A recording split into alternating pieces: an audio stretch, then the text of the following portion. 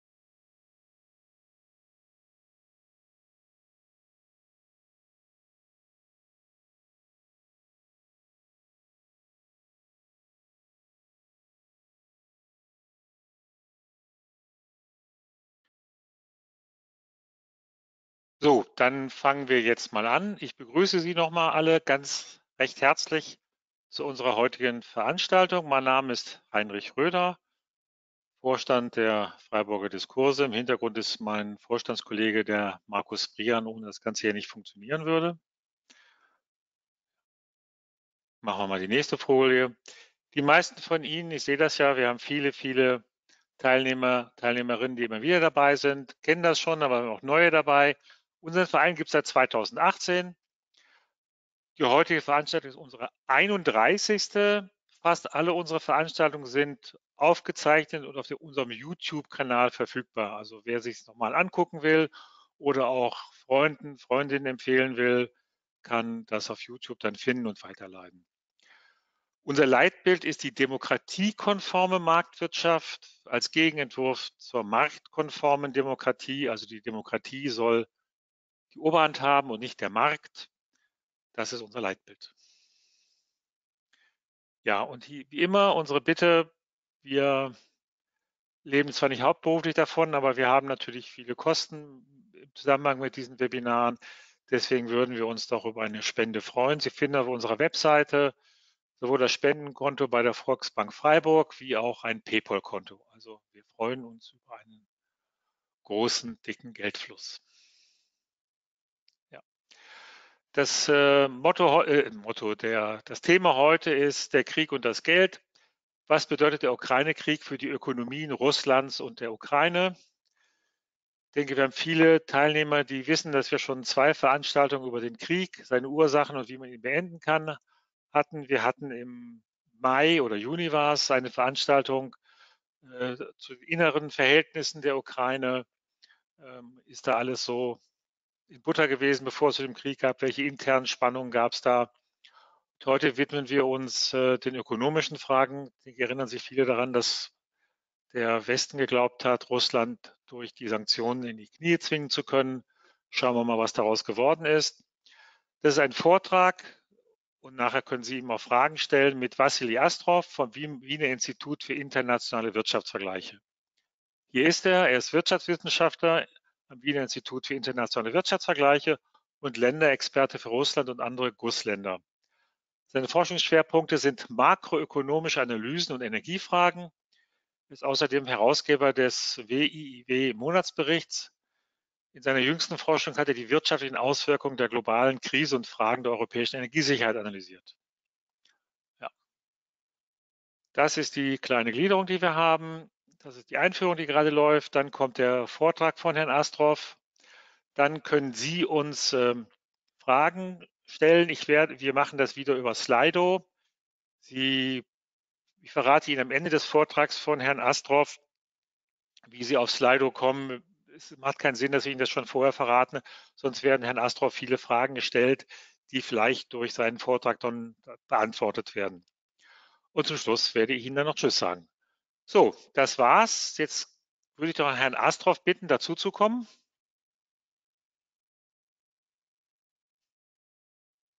Ja, der wunderbar geklappt. Guten Abend, Herr Astroff. Guten Tag, guten Abend. Ja, guten Abend.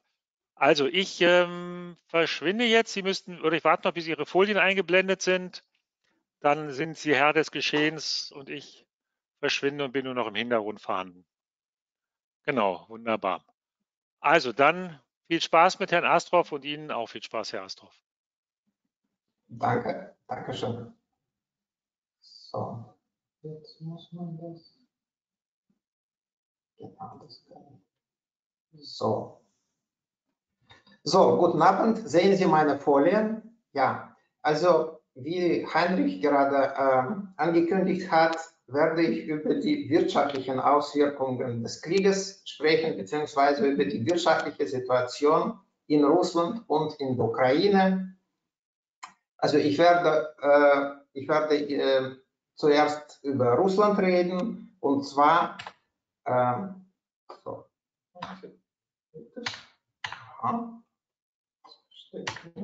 Aha, jetzt geht's. Ja, Entschuldigung. So, zunächst äh, werde ich über Russland reden und zwar äh, werde ich die folgenden Fragen beleuchten. Also ich werde einen Überblick über die westlichen Sanktionen geben, die gegen Russland eingeführt wurden äh, nachdem Russland in die Ukraine im Februar 22 einmarschiert ist, dann auf die Frage eingehen, haben die Sanktionen gewirkt? Wo befindet sich momentan die russische Wirtschaft und vor allem, warum wächst sie jetzt wieder, trotz äh, den umfangreichen Sanktionen, die eingeführt wurden? Dann werde ich auf die Frage eingehen, wie schaut es so geopolitisch aus, beziehungsweise äh, äh, wie schaut es aus vom Standpunkt der wirtschaftlichen Verflechtungen? Ja, es geht natürlich jetzt um eine Abkopplung Russlands von Europa, um eine Umorientierung nach Asien.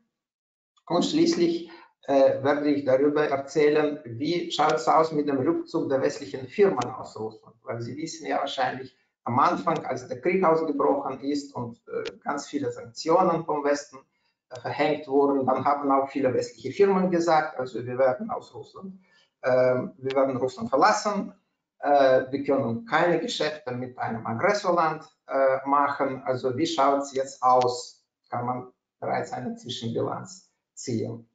Und dann zum Schluss werde ich auf die Ukraine kommen und bei der Ukraine geht es äh, vor allem um zwei Fragen. Das sind die Kosten und Schäden des Kriegs. Die sind natürlich enorm für das Land, weil äh, der Krieg äh, spielt sich ja hauptsächlich in, ähm, äh, auf dem ukrainischen Territorium ab, also nicht auf dem russischen, so 99 Prozent oder so.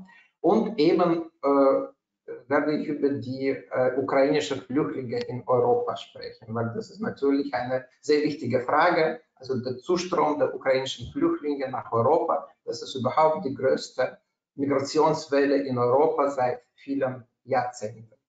Und schließlich einen Ausblick, also was kann man von der Zukunft erwarten? Und zwar aus wirtschaftlicher Sicht, was kann man für die russische Wirtschaft erwarten, was kann man für die ukrainische Wirtschaft äh, erwarten. Natürlich, das hängt zum großen Teil vom, äh, vom geopolitischen Geschehen äh, ab, vom äh, militärischen Geschehen ab, aber das hat, das hat eben auch wirtschaftliche ähm, Auswirkungen. So, zunächst über Russland. Also am Anfang möchte ich so einen kurzen Rückblick geben in die äh, vergangenen äh, 30 Jahre oder ein bisschen mehr als 30 Jahre, 32 Jahre wie hat sich die russische Wirtschaft entwickelt seit dem Zusammenbruch der Sowjetunion. Also Sie wissen, die Sowjetunion ist im Jahre 91 zusammengebrochen und aus 15 Teilrepubliken der Sowjetunion wurden 15 unabhängige Staaten und einer davon war eben Russland. Welche Phasen hat die russische Wirtschaft äh, in dieser Zeit durchgemacht? Also ich würde sagen, äh, es gab vier Phasen oder ich würde zwischen vier Phasen unterscheiden, die ungefähr, äh, also jede Phase hat circa äh, zehn Jahre, also ein Jahrzehnt äh, gedauert. Also die erste Phase, das waren die 90er Jahre, das war die äh, sogenannte Transformationsrezession. Ja, das war eine sehr schwierige Zeit für Russland, also für viele Leute in Russland. Äh, es ging nicht nur darum, dass die Sowjetunion zusammengebrochen ist und damit sind natürlich auch sehr viele Verflechtungen, also wirtschaftliche Verflechtungen, die es zwischen den einzelnen Teilrepubliken der Sowjetunion gegeben hat. Die sind zusammengebrochen. Das ist natürlich ein, das war ein wesentlicher Schock, äh, auch für die russische Wirtschaft und auch für die Wirtschaften der anderen Teilrepubliken. Aber auch, es gab auch einen zweiten Schock, das war die Transformation. Also das war eben der Übergang von der Planwirtschaft in der Sowjetunion zur Marktwirtschaft. Ja? Das heißt, diese zwei Schocks haben gleichzeitig stattgefunden und das hat am Anfang zu einem enormen Einbruch äh, des Bruttoinlandsprodukts geführt und das, äh, äh, das hatte natürlich auch Auswirkungen auf die russische Bevölkerung. So, die nächste Phase, also die zweite Phase, das war ein wirtschaftlicher Boom. Also die praktisch die Jahre vor der großen äh, Weltwirtschaftskrise, das war, das war wahrscheinlich die erfolgreichste Zeit, also wirtschaftlich gesehen, die Russland überhaupt je erlebt hat. Also es gab wirklich fast chinesische Wachstumsraten, also sehr hohe Wachstumsraten vom Bruttoinlandsprodukt und es gab enorme Fortschritte beim Lebensniveau für die meisten Menschen, also für die meisten, äh, für die meisten Leute in Russland. Dann die dritte Phase ab circa 2010 also zwischen 2010 und äh, 2021, das war mehr oder weniger eine Stagnation. Ja, es gab Jahre mit ein bisschen Wachstum, dann gab es Jahre mit, mit, mit Krisen, also ich werde noch, darauf noch zurückkommen. Aber im Schnitt kann man sagen, äh, die Wirtschaft hat weitgehend stagniert und äh, viele reden eben über, über ein verlorenes Jahrzehnt für die russische Wirtschaft. Und schließlich seit, seit 22 äh, gibt es praktisch oder gab es eine Umstellung auf die Kriegswirtschaft. Natürlich, der Krieg hat ja nicht nur militärische Auswirkungen, hat natürlich auch enorme Auswirkungen auf die russische Wirtschaft. Äh, das Land muss Waffen produzieren, es gibt große Aufträge vom Staat und das kommt auch vielen anderen ähm, Branchen, vielen anderen Sektoren ähm, der russischen Wirtschaft zugute. Nun, äh, was wichtig zu betonen ist, ist, dass äh, Russland, also die Geschichte, die jüngste Geschichte Russlands ist durch mehrere wirtschaftliche Krisen gekennzeichnet. Das ist ganz wichtig im Auge zu behalten. Also die Krise, die es letztes Jahr gegeben hat, es gab eine Krise, es gab einen BIP-Rückgang, vielleicht nicht so groß, wie, wie man am Anfang erwartet hat, aber es gab einen BIP-Rückgang. Das war die sechste Krise seit dem Zusammenbruch der Sowjetunion. Und hier auf dieser Folie sehen Sie die, also alle diese Krisen sind aufgelistet mit äh, dem entsprechenden Rückgang des Bruttoinlandsprodukts in jeder Krise. Also am Anfang habe ich schon gesagt, das war die Transformationskrise. Also von allen Krisen, die Russland durchgemacht hat, war das überhaupt mit Abstand die schlimmste. Und diese 14,5 Prozent BIP-Rückgang, das war nur im ersten Jahr der Transformation. Das war nur im Jahr 92. Diese Rezession hat, hat länger gedauert. Also das war, nur der, der, das war nur der Anfang. Die zweite Krise, das war das Staatsbankrott. Vielleicht können Sie sich noch erinnern, das war die Zeit, als, der, als die russische Regierung sehr viele Schulden aufgenommen hat, die sie im Endeffekt nicht bedienen konnten Also da waren sehr hohe, da waren sehr hohe Zinssätze für die äh, russischen Staatsanleihen und das hat zu einem Staatsbankrott geführt im Jahre 98 und dieses Staatsbankrott hatte Auswirkungen natürlich auf die Finanzstabilität, auf den Wechselkurs des russischen Rubels und natürlich auch auf die Realwirtschaft. Das war die zweite Krise. Die war auch recht schlimm für die, äh, für die Russen. Dann kam die dritte Krise, das war die globale Wirtschafts- und Finanzkrise. Also da stand Russland nicht alleine. Diese Krise haben praktisch alle erwischt oder die meisten Länder, äh, also vor allem in Europa auch. Das war die dritte Krise. Die vierte Krise war 2015. Das war vielleicht keine so große Krise, aber immerhin, das war eine Krise. Das war ein Zusammenspiel von zwei Faktoren. Also die ersten äh, Sanktionen, die ersten westlichen Sanktionen wurden bereits im Jahre 2014 eingeführt als Antwort auf die Annexion der Krim und auf die russische Unterstützung für die Separatisten im Donbass, also im Osten der Ukraine. Das war der eine Faktor, der zu dieser Krise beigetragen hat. Und der zweite Faktor, das war der äh, Verfall, also ein abrupter Verfall der Ölpreise. Die Ölpreise, also der Ölpreis ist natürlich extrem wichtig für die russische Wirtschaft, weil Öl ist das wichtigste Exportgut nach wie vor. Die fünfte Krise, Covid, ganz klar, gab es auch überall.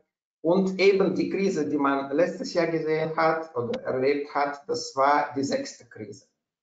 Also das ist nur zu zeigen oder, oder zu, zu, zu beleuchten, dass äh, Russland ist an die Krisen gewohnt. Und die russische Bevölkerung ist an die Krisen gewohnt. Äh, die Russen haben schon vieles durchgemacht und diese Krise, die äh, letztes Jahr äh, ausgebrochen ist, war äh, erstens war nicht so tief und zweitens eben die Leute sind das gewohnt. Das muss man auch im Auge behalten, wenn man über die Widerstandsfähigkeit äh, Russlands spricht. Nun komme ich zu den Sanktionen.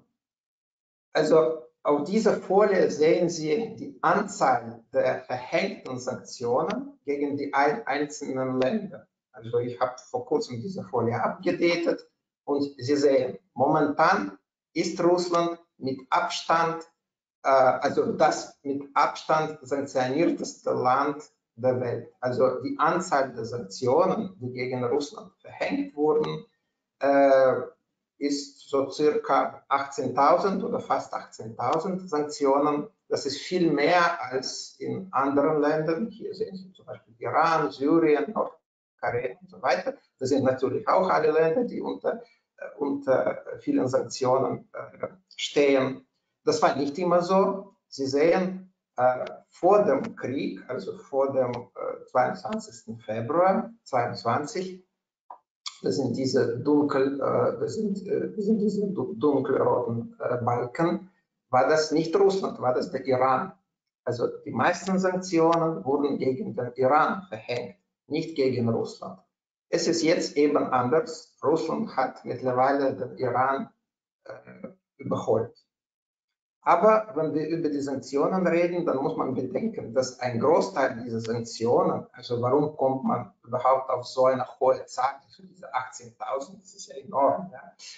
Ein Großteil von diesen Sanktionen, das sind persönliche Sanktionen. Ja. Also das sind Sanktionen gegen die einzelnen Personen, also die russischen Eliten, gegen die Politiker, gegen die, ähm, die die Minister, die Abgeordneten, die Propagandisten, also Medienfiguren, Oligarchen und so weiter und so weiter. Also so kommt man auf diese, auf diese sehr große Zahl, diese 18.000 oder so äh, Sanktionen.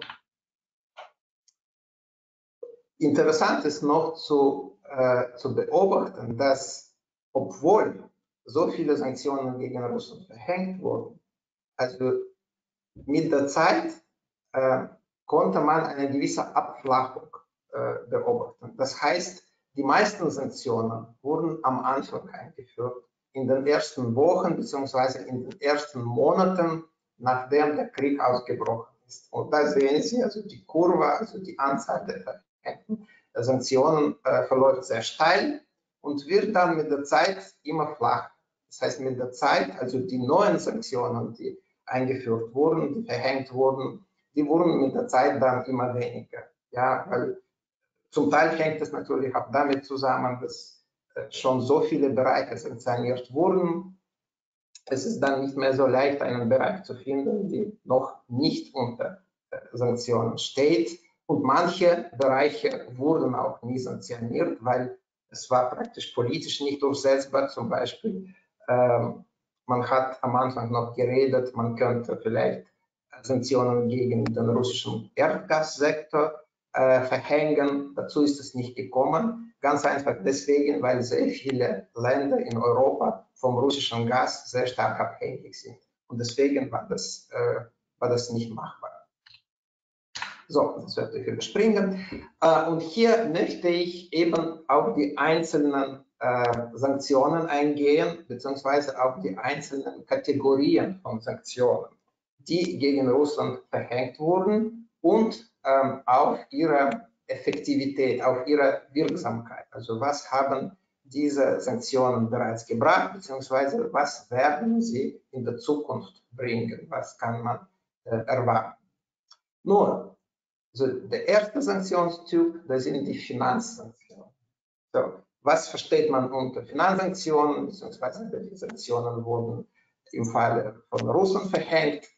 So, das waren zum einen, das waren Verbote der Kreditvergabe. Also es wurde verboten, für die westlichen Banken Kredite an die russischen Banken zu vergeben, an die russischen staatlichen Unternehmen, an die russische Regierung. Das ist das eine. Und das zweite, äh, mehrere wichtige oder mehrere große russische Banken wurden von der SWIFT ausgeschlossen. Ja, SWIFT, das ist das internationale äh, Zahlungssystem, das ist ein sehr wichtiges Zahlungssystem, ein Großteil der Finanztransaktionen äh, Finanztransaktionen der Welt ähm, äh, werden über SWIFT, über die SWIFT abgewickelt äh, und eben äh, mehrere russische Banken wurden von der SWIFT ausgeschlossen. Die Wirksamkeit dieser Finanzsanktionen war sehr gering. Warum? Ganz einfach, weil Russland war auf diese Sanktionen sehr gut vorbereitet. Also Russland hat seit Jahren, also Russland hat sich seit Jahren auf diesen Konflikt vorbereitet, nicht nur militärisch oder geopolitisch, auch wirtschaftlich bzw. wirtschaftspolitisch. Also seit Jahren zum Beispiel hat die russische Regierung oder viele Jahre nacheinander hat die russische Regierung Budgetüberschüsse erwirtschaftet. Äh, das heißt, also Jahr für Jahr hat die Regierung weniger Geld ausgegeben, als sie an Steuern äh, bekommen haben. Und dadurch war das möglich, also durch diese Budgetüberschüsse war das möglich, Schulden, öffentliche Schulden zurückzuzahlen und den Stand der öffentlichen Schulden auf ein sehr niedriges Niveau herabzudrücken. Also am Anfang, als der Krieg ausgebrochen ist, stand die russische öffentliche Verschuldung bei nur 15 Prozent des BIP. Das ist sehr, sehr wenig. Ja. Selbst verglichen mit anderen äh, äh, Schwellenländern, also in den Schwellenländern sind die öffentlichen Schulden normalerweise geringer als zum Beispiel in entwickelten Ländern, als in den USA oder in den meisten westlichen Ländern. Ganz einfach, weil die Schwellenländer können, sie nicht leisten, können sich nicht leisten, sehr große öffentliche Schulden zu haben. Aber eben selbst im Vergleich zu den anderen Schwellenländern war dieses Niveau sehr gering. Warum ist das wichtig? Es ist wichtig, weil dadurch äh, gab es auch äh, äh gab es dann entsprechend mehr Widerstandsfähigkeit gegen den westlichen Druck. Also wenn die russische Regierung nicht auf Kreditaufnahmen äh, angewiesen ist oder nicht angewiesen war, dann war natürlich auch der, die Wirkung dieser Finanzsanktionen entsprechend gering. So, der zweite Sanktionstyp, das waren die Sanktionen gegen die russischen Importe. So, das, sind, das waren ganz wichtige Sanktionen, die wurden gegen eine Reihe von Hightech-Gütern eingeführt, gegen die Halbleiterchips, gegen ein breites Spektrum an Maschinen und Ausrüstung, auch, äh, auch auf Luxusgüter. Ähm, das ist ganz, ganz wichtig und das war mit Absicht gemacht, weil die russische Rüstungsindustrie ist von äh, vielen äh, wichtigen Gütern abhängig. Die müssen importiert werden. Zum Beispiel die Halbleiterchips, die müssen eingeführt werden, die müssen importiert werden. Es gibt keine heimische Produktion in Russland für diese Halbleiterchips. Und eben man hat damit versucht, also durch diese, durch diese äh, Verbote äh, von, äh, also zum Beispiel diese Halbleiterchips oder andere Hightech-Güter nach Russland zu exportieren, hat man eben versucht, das Produktionspotenzial äh, der russischen Rüstungsindustrie zu äh, unterminieren. Ja. Was war die Wirksamkeit dieser Sanktionen? Ähm, äh, potenziell könnte diese Wirksamkeit ganz groß sein. Ja, äh, es ist zwar so, dass die meisten äh, Güter ist Russland immer noch in der Lage einzuführen. Das heißt, es ist jetzt so, dass selbst wenn die westlichen Länder nicht mehr nach Russland direkt exportieren, ein Großteil der Güter bekommt Russland über Umweg, das heißt über die Drittländer. Was für Länder sind das? Das ist China, das ist Hongkong, die Türkei, Vereinigte Arabische Emiraten und mehrere Busländer, zum Beispiel Kasachstan, Armenien und Georgien. Das sind die wichtigsten Drittländer, über die ein Großteil der russischen Importe momentan abgewickelt wird. Es ist auch so, es wird eine Firma gegründet, zum Beispiel in der Türkei oder in China. Diese Firma äh, kauft westliche Güter, vermeintlich für andere Zwecke, verkauft dann aber anschließend nach Russland. Ja, das heißt, einen Großteil der, der Importe bekommt Russland auf diesem Weg über die Drittländer, aber eben nicht alle. Ja, es gibt Ausnahmen, zum Beispiel äh, man redet über die Motoren für die Flugzeuge. Anscheinend funktioniert dieser Weg nicht so einfach bei den, äh, bei den äh, Motoren für die Flugzeuge. Und es gibt auch ein paar andere Beispiele. Ja. Äh, das heißt, mit der Zeit kann es das sein, dass diese Beschränkungen tatsächlich eine Rolle spielen und dass die könnten langfristig gesehen schon das russische äh, äh Potenzial, also wirtschaftliche, das wirtschaftliche Potenzial schon etwas einschränken, aber eben nur langfristig. Ja? Und kurzfristig sind die Auswirkungen doch eher gering. Also der dritte Sanktionstyp, äh, das sind äh, Sanktionen gegen die russischen Exporte.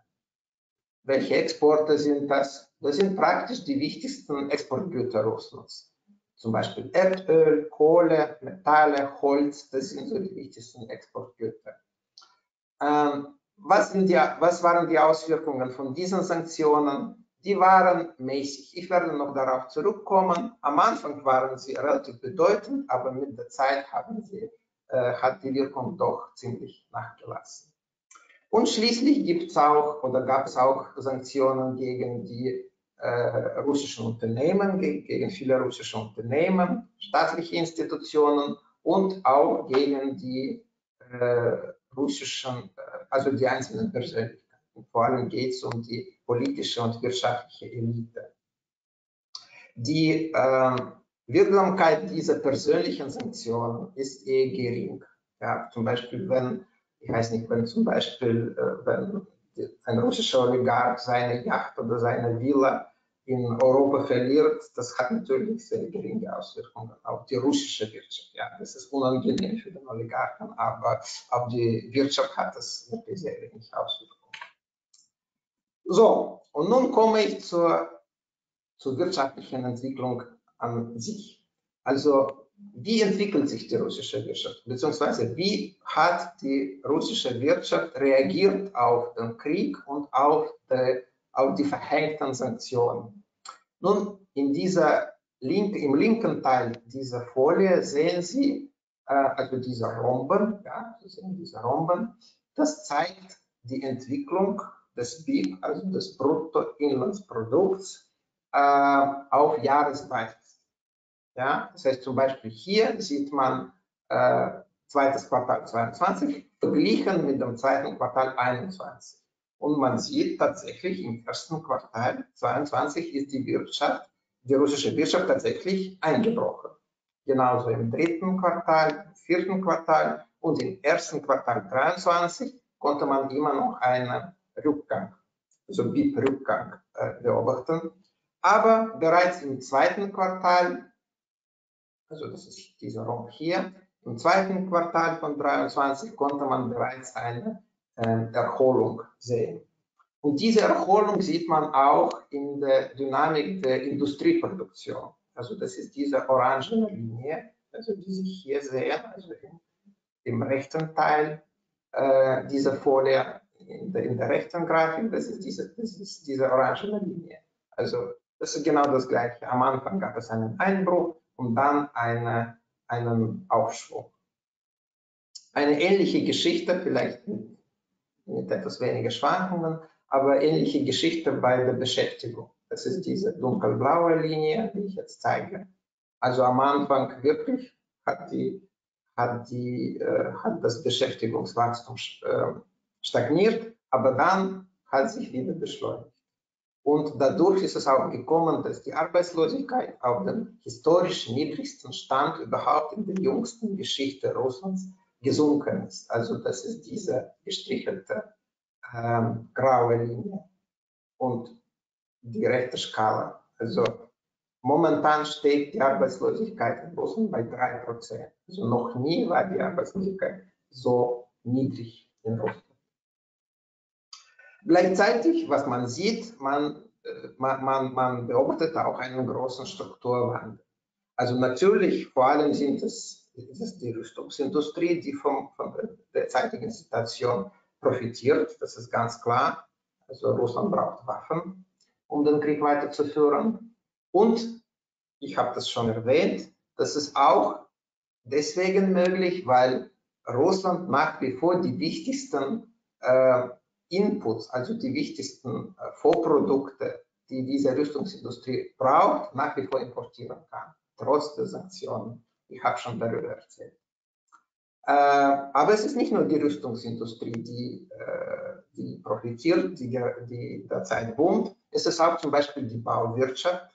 Da geht es zum Beispiel um die Errichtung der Militärinfrastruktur im Süden, also in den Provinzen, die an die Ukraine grenzen oder eben auch um die, um den, äh, um, um die äh, Schaffung von Transport- und Logistikinfrastruktur in ähm, Sibirien und im Fernen Osten. Warum? Das ist wichtig, um den Außenhandel Russlands von Europa Richtung Asien umzuleiten, so zum Beispiel die äh, Exportpipeline äh, nach China, also Erdgaspipeline nach China muss gebaut werden ja, das, das sind natürlich große Kosten, die damit, die damit verbunden sind.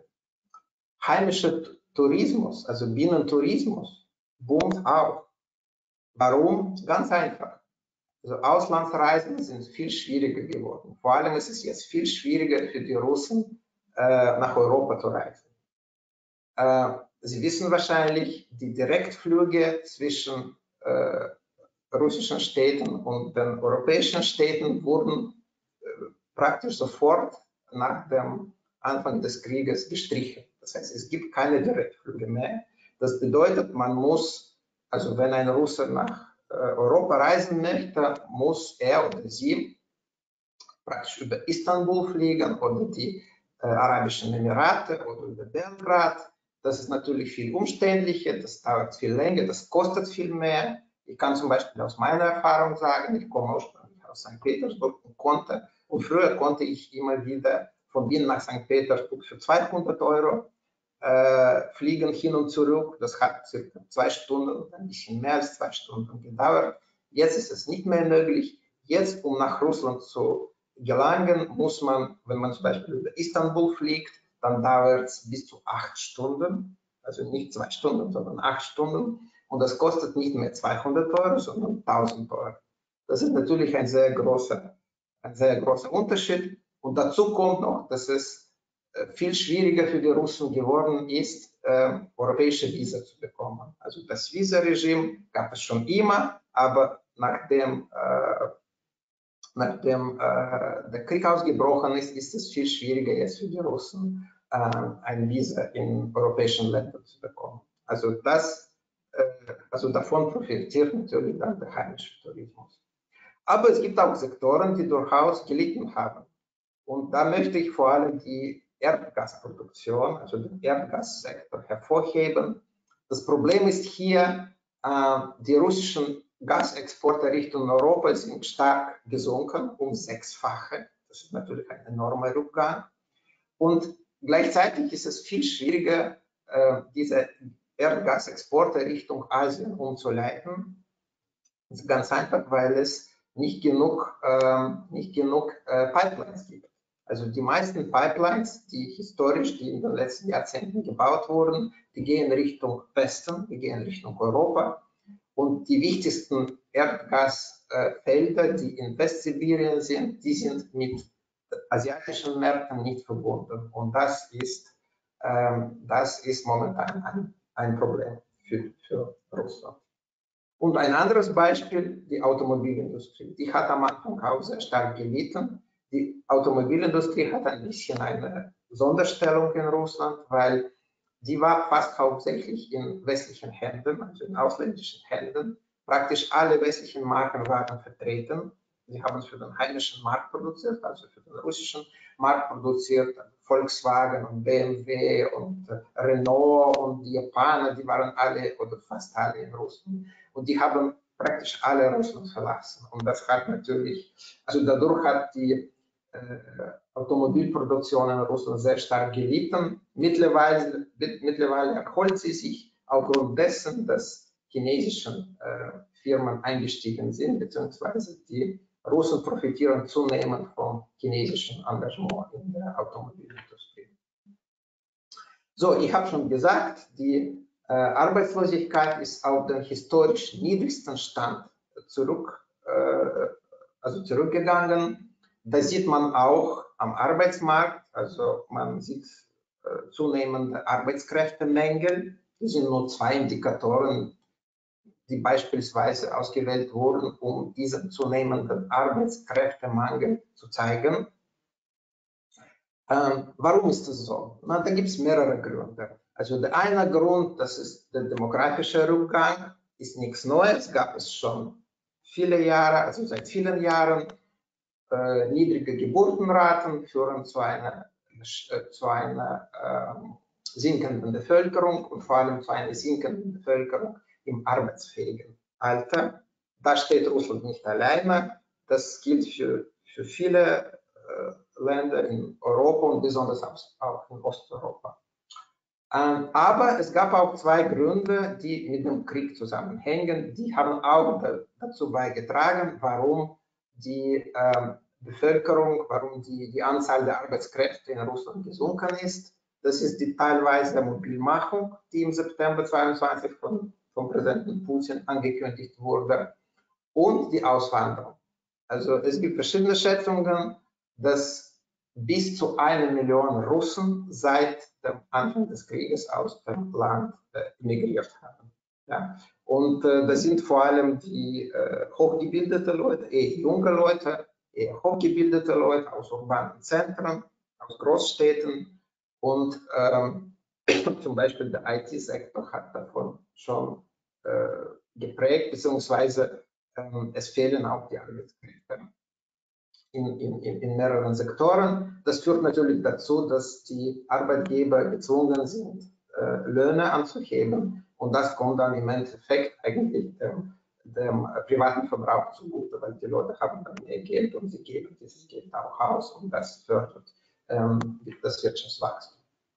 So, äh, das werde ich vielleicht überspringen. Also ich habe jetzt sehr viel über die, ähm, über die äh, Entwicklungen gesprochen und im Großen und Ganzen ist es ein recht positives Bild, was man, was man wirtschaftlich über, über die derzeitige Entwicklung in Russland sagen kann. Also ich habe gesagt, es gibt einen Wiederaufschwung nach dem anfänglichen Rückgang, sowohl beim BIP als auch bei der Industrieproduktion, Beschäftigungswachstum. Die Arbeitslosigkeit ist auf dem historisch niedrigsten Stand. Äh, ja, Strukturwandel, aber es gibt auch relativ viele Sektoren, die von, von der derzeitigen Situation, äh, von, der, von der derzeitigen Situation profitieren. Nun, wie ist es überhaupt mit den ganzen Sanktionen kompatibel, die gegen Russland verhängt wurden? Wo, sind, wo ist die Auswirkung dieser Sanktionen? Und da möchte ich ein Beispiel zeichnen für eine Sanktion, also für eine westliche Sanktion, die verhängt wurde, die durchaus Auswirkungen hatte, zumindest am Anfang. Und das sind die Energiesanktionen. Also Sie wissen wahrscheinlich, im Dezember 2022 hat die EU ein Importembargo für russisches Öl verhängt. Dieses Embargo wurde im Februar 2023 auf Ölprodukte ausgeweitet. Äh, und gleichzeitig wurde auch die Preisobergrenze für russische Öllieferungen in Drittländer, zum Beispiel China oder Indien äh, oder andere asiatische Länder, eingeführt. Also man hat gesagt, äh, also nur diejenigen Öllieferungen dürfen versichert werden. Also die, die Tanker können nur versichert werden, wenn der Ölpreis für russisches Öl nicht 60 Dollar pro Fass übersteigt. So, und am Anfang hat, hatte diese, hatten diese Sanktionen durchaus eine Wirkung. Also hier auf der, also in der, äh, auf der linken Seite dieser Folie sehen Sie die Entwicklung der Preise. Also diese, diese äh, hellgraue äh, Kreise, das, ist, das sind die, die Preise von Brent, also das ist westliches Öl, das ist das Öl, das in der Nordsee gefördert wird. Und Sie sehen, es gab schon einen Rückgang äh, Anfang des Jahres aber der Rückgang für das russische Öl, das, das sind diese dunkelblaue Kreise, war viel stärker. Und dadurch ist der Abstand, also das, der, der, der, der Preisabstand zwischen Brent und dem russischen Öl ist gestiegen. Also am Anfang ist gestiegen, das sieht man auch ganz deutlich im, im rechten Teil dieser Folie. Das ist eben dieser Discount, also dieser Preisrabatt vom russischen Öl verglichen mit dem äh, mit dem Brent, also mit dem westlichen Öl. Also Sie sehen, am Anfang war dieses Rabatt durchaus äh, beträchtlich, aber mit der Zeit, also im Laufe der Zeit, ist dieser, ist dieser Rabatt immer geringer geworden. Ja? Gibt es nach wie vor, aber nicht mehr so stark wie am Anfang. Das heißt, man kann sagen, diese, äh, die Auswirkungen dieser, dieser Energiesanktionen sind im Laufe der Zeit äh, also, oder haben im Laufe der Zeit deutlich nachgelassen. Ja. Warum ist das so? Das hängt zum Teil damit zusammen, dass immer mehr Öllieferungen aus Russland nicht auf westliche, äh, auf westliche Versicherer angewiesen sind. Also der Anteil der, äh, der Öllieferungen, die nicht auf die westliche Versicherung angewiesen sind, das sind diese äh, gelbe Balken ist im Laufe der Zeit gestiegen. Also sowohl beim, bei, bei Rohöl, das ist diese, diese, äh, diese Grafik auf der linken Seite, als auch für die Ölprodukte. Das ist diese rechte Grafik. Da sieht man auch eine ähnliche Entwicklung. Und dadurch eben haben die westlichen Politiker auch weniger Leverage. Ja, sie können diese, zum Beispiel diese Preisobergrenze von 60 Dollar pro Fass nicht wirklich umsetzen, beziehungsweise sie können das nur teilweise umsetzen, weil eben ein Großteil der russischen Öllieferungen nicht mehr über die westlichen Versicherer äh, abläuft. Aber was die Sanktionen erreicht haben, das sieht man ganz deutlich, das ist die Umorientierung des russischen Handels. Und hier, also auf dieser Grafik sehen Sie die russischen Exporte im Laufe der Zeit, also diese graue Linie oben, das sind die Gesamtexporte. Und äh, hier sind auch die wichtigsten Exportdestinationen äh, vertreten, also oder dargestellt. Die EU, also diese orangene Linie, China, äh, Indien und die Türkei. Ja, das sind die wichtigsten, also momentan sind das die wichtigsten Exportdestinationen Russlands. Und man sieht ganz deutlich, was die ganze Zeit vor dem Krieg war die EU mit Abstand die wichtigste Exportdestination für Russland. Und China war an zweiter Stelle. Und jetzt hat sich das umgedreht. Das heißt, seit oder kurz nachdem der Krieg ausgebrochen ist, äh, hat China die EU überholt. Also momentan ist China mit Abstand die wichtigste, also die wichtigste Exportdestination äh, für Russland. man sieht hier auch zum Beispiel, dass die Rolle Indiens, das, das ist diese hellblaue Linie, oder auch die Türkei, ist auch gestiegen im Laufe der Zeit. Äh, angefangen von einem niedrigen Niveau, vielleicht deswegen sieht man nicht so deutlich diese Steigung, aber das ist auch wichtig. Vor allem Indien zum Beispiel, China und Indien, die machen mehr als die Hälfte der russischen Ölexporte aus. Das heißt, mehr als die Hälfte der russischen Ölexporte gehen momentan nach China und Indien und nicht, äh, und nicht in die EU wie früher. Und eine ähnliche Geschichte sieht man auch bei den Importen. Also genau das Gleiche. Die äh, graue Linie oben, das sind die Gesamtimporte und die vier wichtigsten äh, Importquellen für Russland. EU, China, Türkei und Kasachstan. Und eine sehr ähnliche Geschichte. Äh, bis zum Krieg war das immer die EU, also die EU war die, die wichtigste Importquelle für Russland. Seit der Krieg ausgebrochen ist, ist es China. Also Sie sehen, China am Anfang gab es schon einen gewissen Rückgang bei den Importen, aber die Importe aus China haben sich erholt und sie und haben sogar zugenommen. Und die EU, das ist diese orangene Linie, liegt äh, mit Abstand weit zurück. Das heißt, was diese Sanktionen wirklich erreicht haben, das ist die Umorientierung und eine sehr schnelle Umorientierung, eine sehr abrupte Umorientierung des russischen Handels von Europa nach Asien besonders nach China, aber nicht nur China. So, wie schaut es aus mit, den, äh, mit dem Rückzug der westlichen Firmen? Also ich habe gesagt, und Sie wissen das wahrscheinlich eher aus Zeitungen und so weiter, ähm, ganz am Anfang des Krieges haben sehr viele westliche Firmen gesagt, wir werden Russland verlassen. Also wie steht es äh, derzeit? Also haben Sie diese Vorhaben implementiert oder nicht? Also das sind die Daten der Kiew School of Economics. Also, äh, sie haben eine ganz gute Datenbank. Äh, sie analysieren, äh, welche Firmen haben Russland verlassen, komplett verlassen oder sind im, im Zuge von diesem, vom, vom Verlassen, also oder haben vor zu verlassen oder haben nicht vor, Russland zu verlassen und wollen bleiben. Und hier, das sind so die, äh, die 20 wichtigsten äh, Länder, also die, also die als Investoren in Russland vertreten waren. Das sind die wichtigen Länder, die wichtigen Investoren in, in Russland. Und die sind rangiert nach dem Anteil der Firmen aus diesen Ländern, die Russland verlassen haben.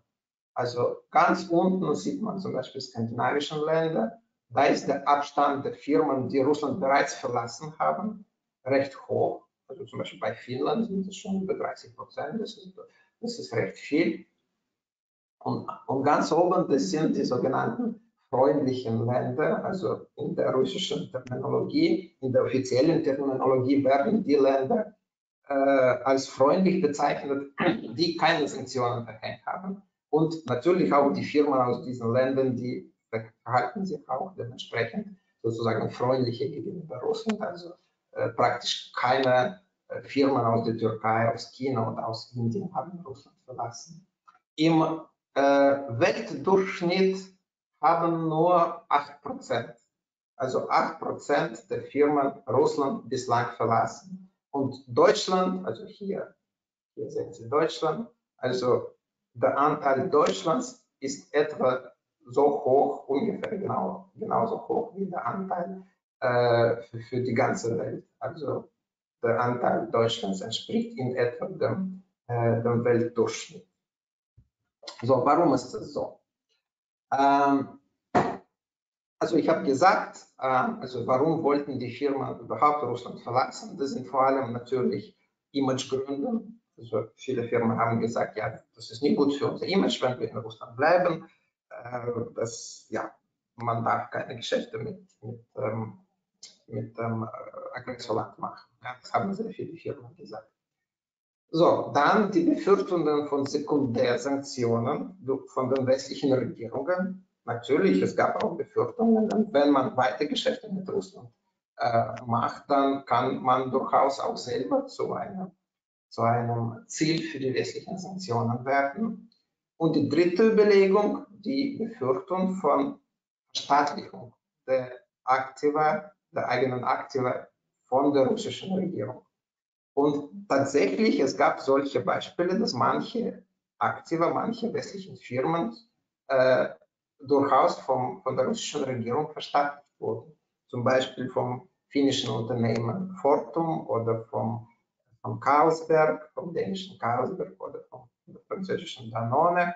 Aber das muss man auch im Kontext sehen, weil äh, diese Nationalisierung, diese Verstaatlichung der westlichen Aktive von der russischen Regierung ist als Antwort auf, die, auf das Einfrieren der russischen Aktive im Westen zu sehen. Also Sie wissen wahrscheinlich, ziemlich bald nach dem Anfang des Krieges wurden, wurde die Hälfte der russischen Währungsreserven vom Westen eingefroren, von den westlichen Regierungen eingefroren. Das waren circa, das sind circa 300 Milliarden Euro. Und ähm, in Russland wurde das natürlich als Diebstahl gesehen. Und deswegen gab es dann immer wieder, immer wieder Diskussionen in Russland, dass man sollte auch symmetrisch reagieren, man sollte auch die westlichen Aktiva, ähm, also Aktiva der westlichen Firmen in dem Fall äh, verstaatlichen. Und dazu ist es nur teilweise gekommen, nicht äh, nur teilweise, bislang zumindest. Ähm, nun ist, sind die westlichen, äh, westlichen Firmen in einer schwierigen Situation, weil Einerseits ist es die Frage, ob viele von ihnen wirklich Russland verlassen wollen. Das ist nicht so offensichtlich, weil viele von denen machen gute Geschäfte und machen gute Profite.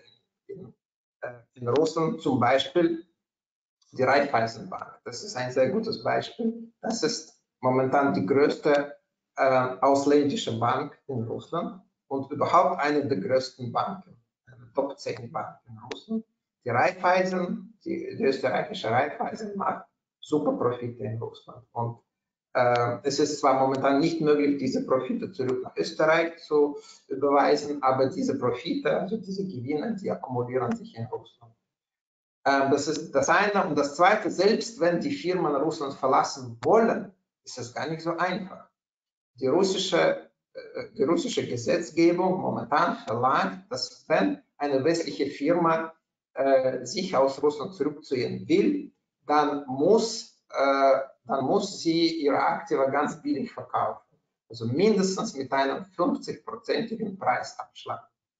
Darüber hinaus gibt es eine sogenannte Exit Tax, also eine, eine Steuer, eine quasi Steuer, eine 10-prozentige Steuer, die äh, ins russische Budget äh, überwiesen werden muss. Und es gibt Diskussionen, dass diese Steuer auf 15 Prozent angehoben wird. Und schließlich gibt es zwei Sektoren, wo der Ausstieg westlichen Firmen nahezu unmöglich ist. Das ist der Bankensektor und der Energiesektor. Also damit ein, eine, eine westliche Firma aus diesen Sektoren in Russland aussteigen kann, bedarf es einer expliziten Zustimmung, äh, einem expliziten Okay von Präsidenten Putin. Also das wird dann noch schwieriger, um einiges schwieriger aus, äh, als aus anderen Sektoren sich zurückzuziehen. Nun, was kann man sagen? Also in welche Richtung überhaupt entwickelt sich die russische Wirtschaft, beziehungsweise was kann man von der Zukunft erwarten? Also ich habe schon gesagt, also ja, momentan, was wir beobachten, das ist eine gravierende Entkopplung von Verflechtungen zwischen Russland und dem Westen, also allem zwischen Russland und, und Europa, die im Laufe der letzten äh, 30 Jahre äh, entstanden sind. Also äh, sehr lange Zeit war das russische Mainstream, also auch die russische Politik und auch die Wirtschaftspolitik war darauf gerichtet, sich verstärkt mit Europa auch wirtschaftlich zu integrieren. Äh, bis zuletzt eigentlich gab es diese Bestrebungen und jetzt kommt es zu einer abrupten Entkopplung aufgrund der, äh, der geopolitischen äh, Entwicklungen aufgrund der, und auch aufgrund der Sanktionen, die gegen Russland verhängt wurden. Ähm, ich habe gesagt, also Russland ist zwar nach wie vor in der Lage, die meisten westlichen Güter zu importieren, aber eben nicht alle. Und ähm, es gibt auch Fälle, wo es nicht möglich ist. Die heimische Produktion von diesen Gütern funktioniert nicht sehr gut aus verschiedenen Gründen.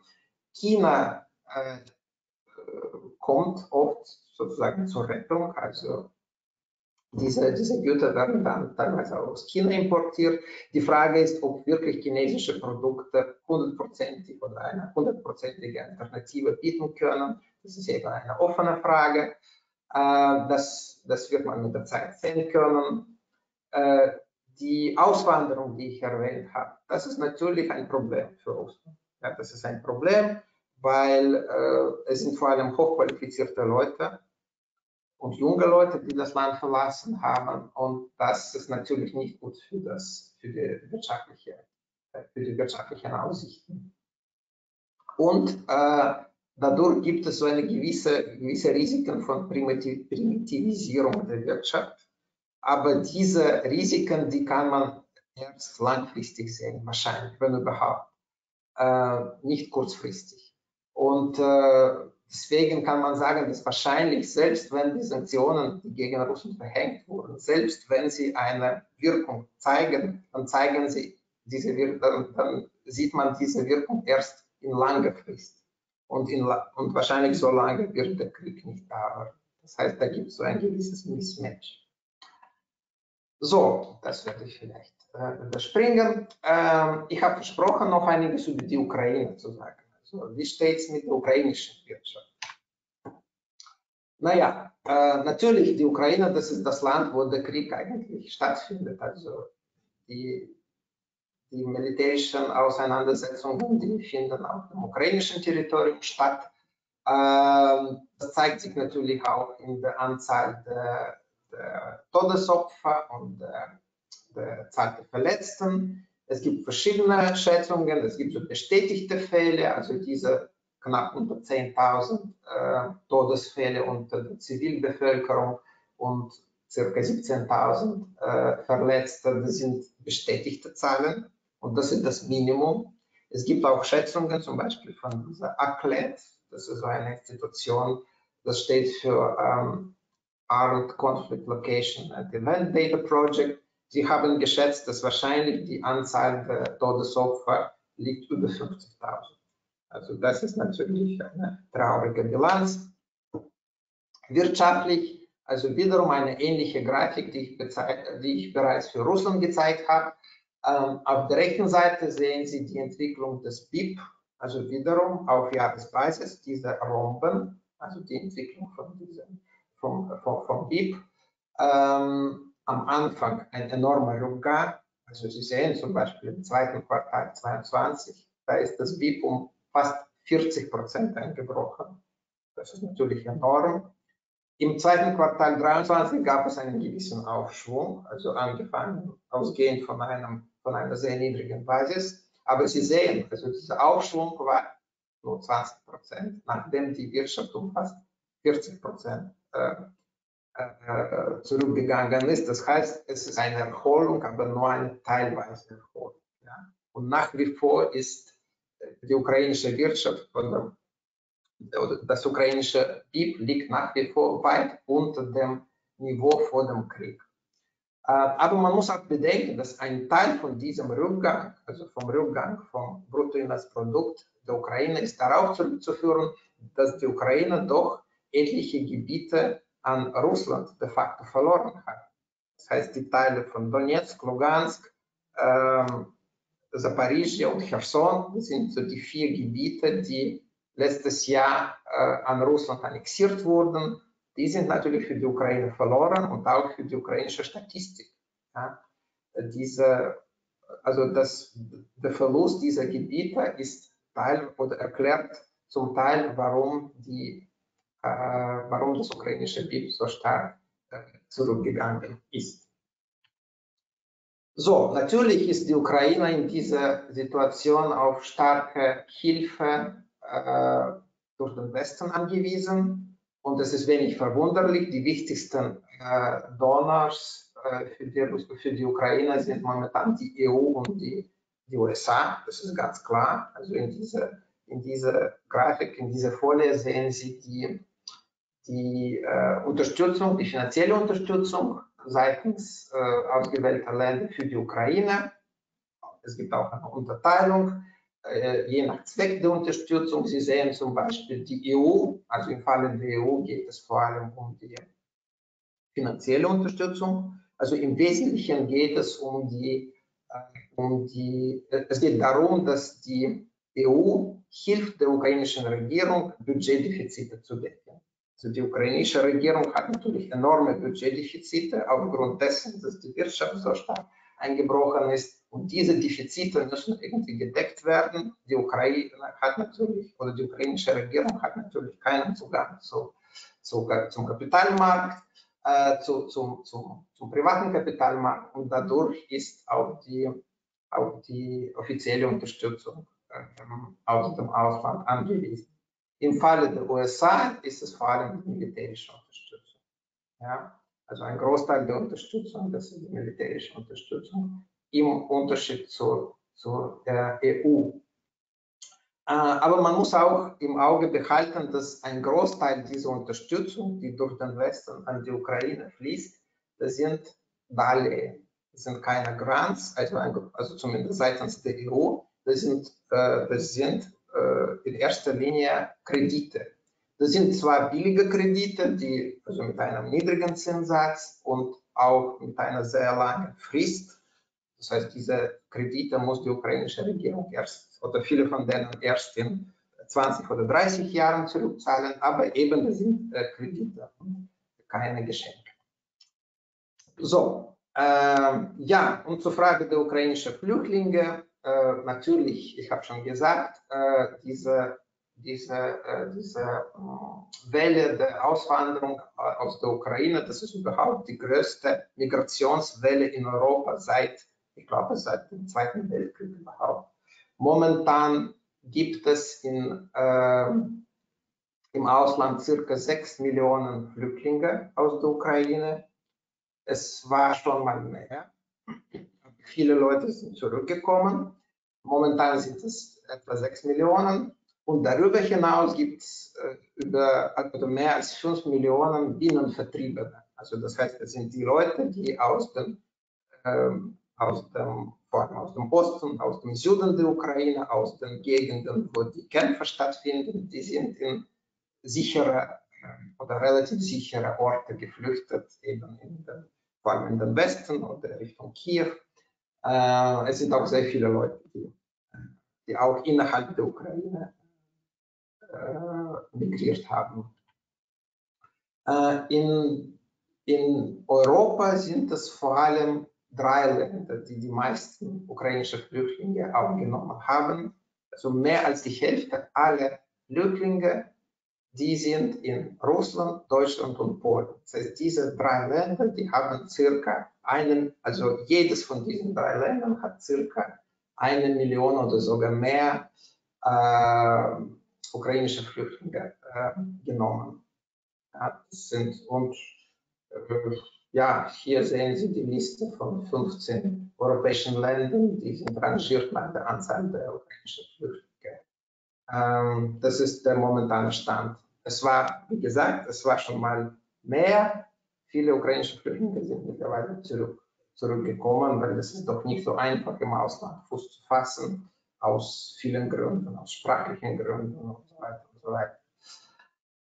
So, ähm, das werden wir vielleicht überspringen. So, äh, was kann man von der Zukunft erwarten im Falle der Ukraine?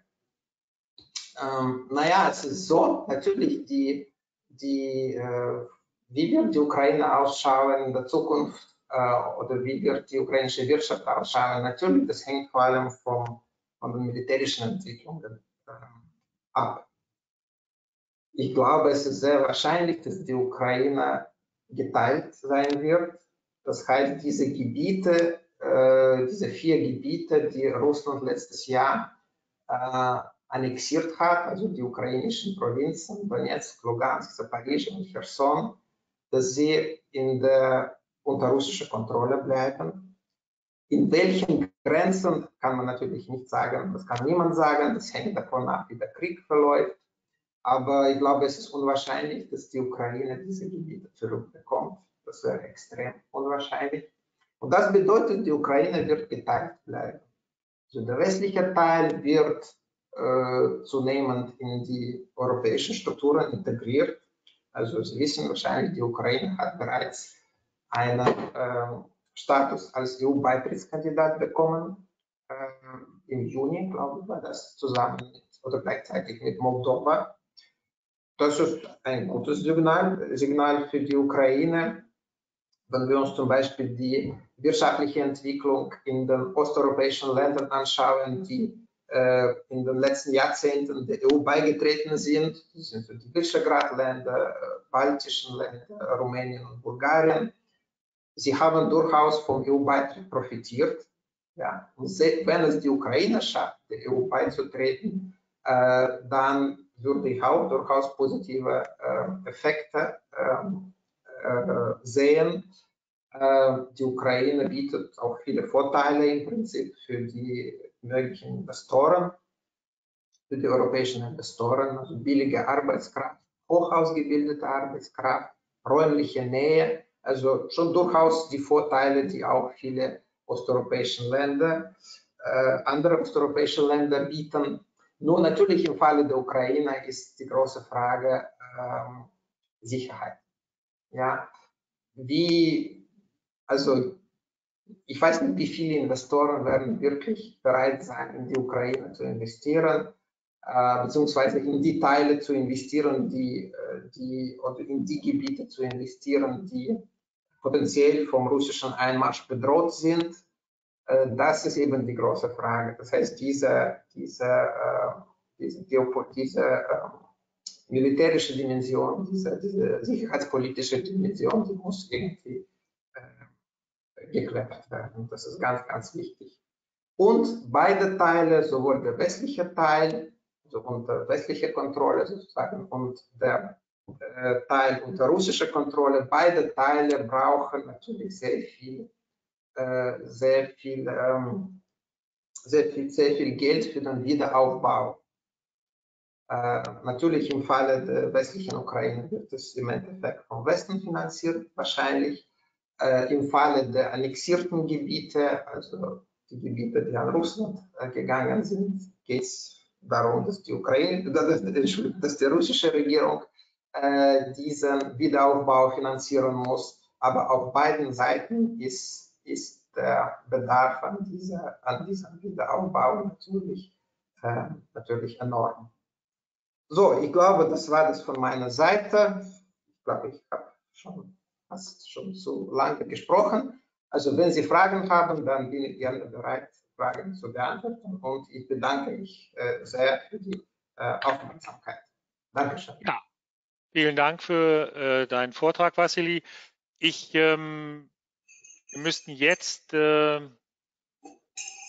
ähm, also hat für mich viele neue Aspekte enthalten. Bin gespannt, welche Fragen äh, wir bekommen. So, diejenigen, die Fragen stellen wollen, die müssen im Internet slido.com eingeben und dann Hashtag 2327547.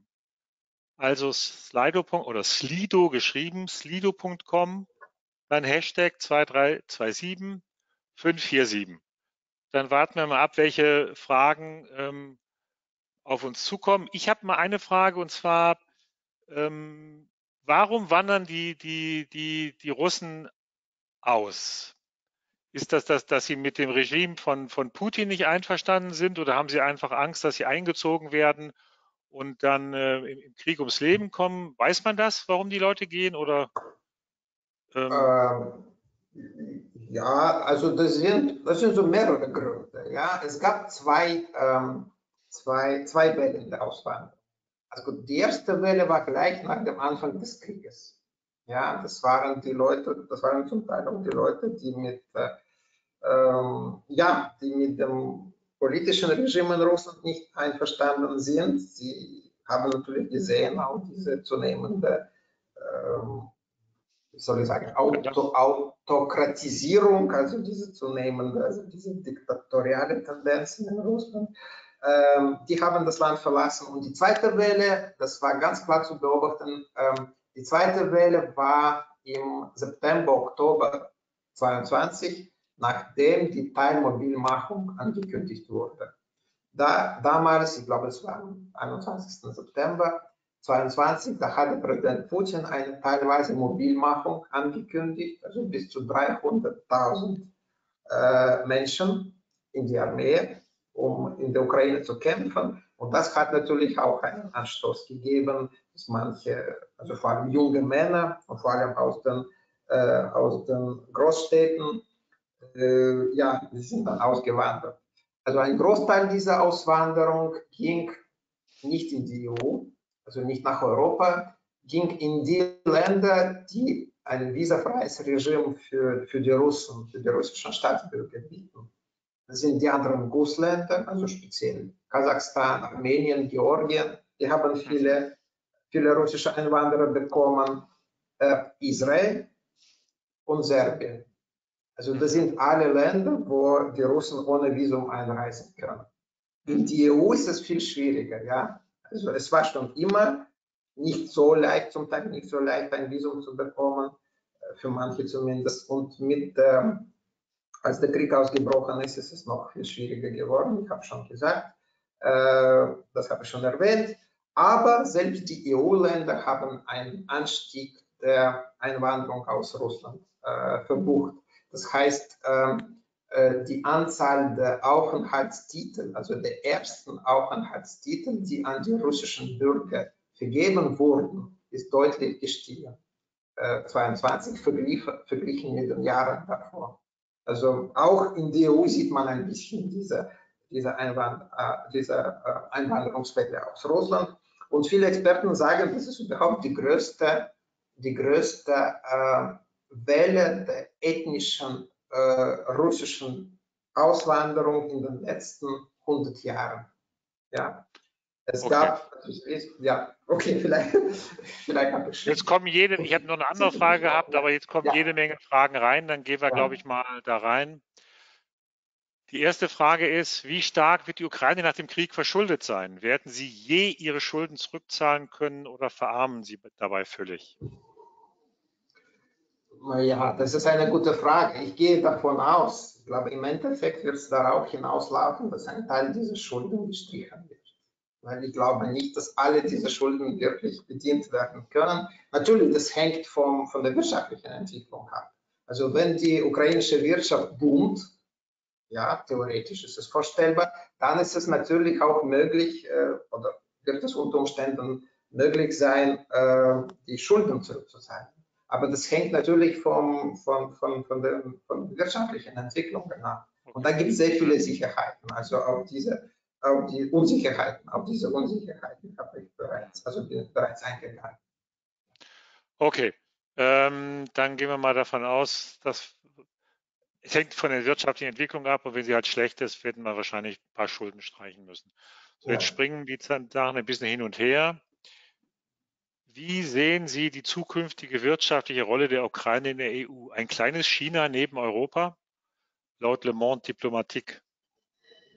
Damit ist wahrscheinlich gemeint, dass es der, der berühmte, wie, wie hieß es immer, ähm, der, äh, also der Ort, wo, wo man halt billige Arbeitskräfte hat, die für uns die Sachen ja. zusammenschrauben, die wir nicht selber zusammenschrauben wollen.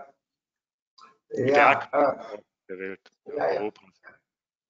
Ähm, also ich glaube, ich habe schon ein bisschen darüber gesprochen, ja, wie es sein könnte. Also natürlich, wenn man wenn man diese Frage beantworten möchte, dann muss man schauen, wie hat sich die Wirtschaft in den anderen osteuropäischen Ländern entwickelt. Ja, sobald sie diese Aussicht auf EU-Beitritt bekommen haben und sobald sie der EU beigetreten sind. Und ich habe diese Länder bereits erwähnt, das sind die Nachbarländer der Ukraine, das ist Polen, das ist Ungarn, Rumänien und so weiter. Ich habe schon gesagt, sie haben sehr viel davon profitiert, also vom EU-Beitritt, sie waren und sie sind auch die, die sozusagen die Werkbank für viele westliche Firmen. Mhm. Ja, auch äh, das gilt für Rumänien, das gilt für Ungarn so, das gilt für Polen, Tschechien, insbesondere für die, was die Autoindustrie betrifft. Es, es gibt eine sehr starke Spezialisierung auf die Autoproduktion, in, vor allem in Tschechien und in der Slowakei, aber auch in Ungarn. Ähm, also, diese, also es, es, ist, äh, es ist kein Zufall, warum die Autos dort produziert werden, weil diese Länder nach wie vor relativ billige Arbeitskraft haben. Ja? Also okay. theoretisch, ja, theoretisch ist es auch denkbar, dass die Ukraine diese Erfolge äh, replizieren kann, aber ich habe schon gesagt, das hängt sehr stark mit dem mit den sicherheitspolitischen Risiken zusammen. Ja. Also die Frage von dem Herrn Zimmermann, die geht, glaube ich, ein bisschen in, in Richtung Sicherheit bzw. Waffen. Wie groß schätzen Sie die Wahrscheinlichkeit ein, dass die amerikanischen Hilfen wegbrechen? Also die amerikanischen Hilfen bestehen ja, wenn ich Ihre oder deine Grafik richtig gesehen habe, ja im Wesentlichen aus Waffenlieferungen. Nicht? Ja, ja. Ich weiß nicht, ob du äh, was du sagen willst. Oder hm, ja, ich glaube, also in, in den USA also wenn ich die ukrainische Regierung wäre, würde ich vor allem darauf schauen, wer die nächsten Wahlen gewinnt.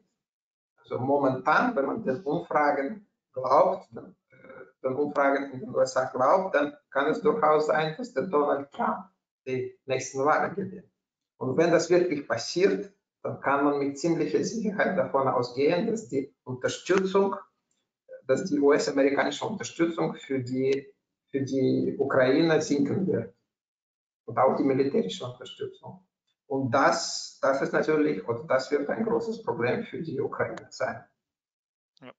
Okay, die nächste Frage, das wäre mal äh, von dem Herrn Schulz, das wäre wirklich mal eine Frage, mit der wir uns bei den Freiburger Diskursen mal beschäftigen sollten. Also Herr Schulz schreibt zur Aussage, Ost-EU-Staaten hätten von der EU profitiert. Professor Flassbeck hält den EU-Beitritt von zum Beispiel Bulgarien und Rumänien eher für eine Katastrophe. Also ich finde das ja mal ein interessantes Thema, die Frage zu stellen, was wäre aus Rumänien und Bulgarien, ist, das kann natürlich nur hypothetisch sein, wenn sie eben nicht in der EU wären. Was würde das für die Länder bedeuten? Ja, alles hat Vor- und Nachteile. Ja, ich nehme an, ich weiß nicht genau, was, ich kenne Professor Flasberg, aber ich weiß nicht genau, was er gemeint hat. Ich nehme an, er hat gemeint, dass es gab sehr große Auswanderung aus diesen Ländern Richtung EU. Also jetzt ist tatsächlich so, dass diese Länder und nicht nur diese Länder, aber auch viele andere, aber insbesondere auch diese zwei, sie haben viele Leute verloren, weil so viele Leute Richtung Westeuropa gegangen sind. Vielleicht hat er das gemacht. Ja. ja, darüber kann man streiten, das hat Vor- und Nachteile. Es ist, natürlich ist es so, dass wenn die Leute auswandern, dann gibt es auch weniger Produktionspotenzial im Land übrig, aber man darf auch nicht vergessen, die Leute, die in den Westen auswandern, dort arbeiten und die äh, Remittances, also die private Überweisungen zurück, äh, zurück in, in, in, in, die Heimat tätigen, das, das kommt auch der heimischen Wirtschaft zugute. Also ich wäre nicht so kategorisch wie Professor Flassbeck. Also ich denke, das wäre ist auch ein ganz anderes Thema, aber das habe ich schon immer mal ja. auf dem Zettel gehabt, dass man sich dieser Frage mal, mal, mal widmet. Äh, ähm, dazu müsste man äh, die richtigen Leute finden, die sich damit beschäftigt haben. So, jetzt Herr Dr. Gantert. Welchen Anteil hat der Diebstahl von ukrainischen industriellen und landwirtschaftlichen Gütern durch Russland an der momentanen ökonomischen Situation in Russland? Ich verstehe die Frage so, dass Herr Gantert meint, dass Russland in irgendeiner Weise von diesem unterstellten Diebstahl profitiert. Ich weiß da nichts Näheres. Ähm, ja, das ist natürlich eine, eine schwierige Frage, weil da braucht man wirklich gute Daten, um diese Frage zu beantworten. Und es gibt keine guten Daten dafür. Ja, natürlich dieses, also in, in den russischen Medien wird dieses Thema nicht wirklich äh, thematisiert, also diese Frage wird nicht, nicht wirklich thematisiert. Aber ich würde sagen, dass diese, diese, also vom Gefühl her würde ich sagen, dass dieser Diebstahl spielt makroökonomisch gesehen keine so große Rolle für Russland, weil Russland ist ja viel größer als die Ukraine ja, und viel größer auch als die besetzten Gebiete, die jetzt an Russland von Russland annexiert wurden. Das heißt, diese, diese Größenunterschiede, die darf man nicht unterschätzen. Ja? Und wenn wir sagen, der russischen Wirtschaft geht es vergleichsweise gut, es hängt vor allem damit zusammen, dass eben diese, dieser Strukturwandel, also diese äh, Neuausrichtung auf die Militärproduktion, auf die Rüstungsindustrie, das hängt vor allem damit zusammen. Also ich würde, ich würde diese, diese Frage von diesem Diebstahl von ukrainischen äh, industriellen und landwirtschaftlichen Gütern nicht überbewerten. Okay, danke. Äh, jetzt nächste Frage. Kann man also sagen, dass durch die Sanktionen die Wirtschaft der EU am meisten geschädigt wurde? Spannende Frage. Ja, das ist eine gute Frage. Und hier ist das, das Problem, es ist jetzt schwierig. Also, ähm, woran hat, oder woran hat die europäische Wirtschaft gelitten? Also, das größte Problem, das waren diese indirekten Effekte. Ja, das, war, das waren die gestiegenen Preise für Lebensmittel und für die Energie.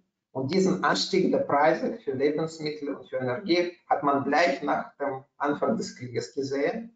Also noch bevor die Sanktionen eingeführt wurden. Natürlich, da wurden schon einige Sanktionen in Aussicht gestellt, aber manche wurden eben erst einige Monate später eingeführt. Zum Beispiel dieses EU-Importembargo für, für russisches Öl wurde bereits im Frühling äh, 22 in Aussicht gestellt, ist aber erst äh, im Dezember zu, zustande gekommen. Äh, dieser Anstieg der, dieser von, von von Lebensmitteln und Energie, das war praktisch die wichtigste oder die, der wichtigste, wie man sagt, Transmissionskanal äh, auf die europäische Wirtschaft, weil dadurch ist die Inflation gestiegen und dadurch ist materielle Einkommen äh, gesunken, auch in Ländern wie zum Beispiel Deutschland oder, oder, oder Österreich. Inwieweit, also das hängt teilweise mit Sanktionen zusammen, teilweise eben auch mit dem Krieg selber. Das heißt schon alleine durch den Krieg sind die Unsicherheiten gestiegen und die äh, Lebensmittel und die Energie teurer geworden. Das heißt, es ist, es ist so ein bisschen schwierig zu, äh, einzuordnen, was wirklich auf die Sanktionen zurückzuführen ist und was, was auf den Krieg selber zurückzuführen ist. Aber aber ja, natürlich ist es eine, es ist eine äh, legitime Frage, also ob, wenn die Sanktionen mehr geschadet haben. Und äh, ich glaube auch, dass äh, es ist durchaus vorstellbar, dass Europa mehr von den Sanktionen gelitten hat als Russland selber, zumindest bislang. Danke. Ähm, dann eine Frage, hups, wo ist sie? Was wären Sanktionen, die Russland signifikant treffen würden? Ist ja schon. Ja, das ist, ich glaube, es gibt keine solche Situation. Das Problem ist, ähm, das Problem ist, okay, man schaut immer oder man hat früher immer geschaut auf die Länder, die früher sanktioniert wurden, auf der Iran, auf Südafrika, äh, ja, ich glaube, das sind vor allem also die zwei Beispiele hat man immer mit Russland verglichen, weil das sind doch recht große Volkswirtschaften und, und im Falle von Südafrika relativ entwickelte Volkswirtschaften. Aber selbst die zwei Länder, die sind immer noch viel geringer. Also die Größe ihrer Wirtschaft ist viel geringer als von Russland.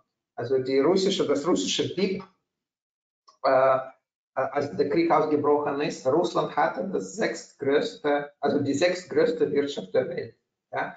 Und so eine Wirtschaft der Welt zu sanktionieren, ist natürlich viel schwieriger als, sagen wir, Nordkorea oder Syrien oder Venezuela. Das ist eine ganz andere Dimension. Und dazu kommt noch natürlich, das ist ganz, ganz wichtig zu, zu, äh, zu erwähnen, äh, die Tatsache, dass die Entwicklungsländer die Schwellenländer, sie haben sich an westlichen Sanktionen nicht angeschlossen. Also wenn zum Beispiel China, also theoretisch, ja, wenn China äh, oder Indien den westlichen Sanktionen gegen Russland sich angeschlossen hätten, dann wäre es natürlich eine ganz andere Geschichte. Ja. ja. Aber so kann Russland zum großen Teil auf, die, auf, auf äh, mehr Handelsverflechtungen mit Asien zurückgreifen.